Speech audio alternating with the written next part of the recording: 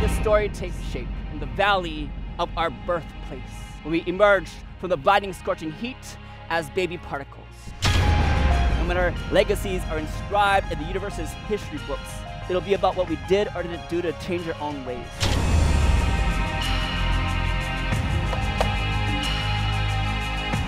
Oh, oh, oh.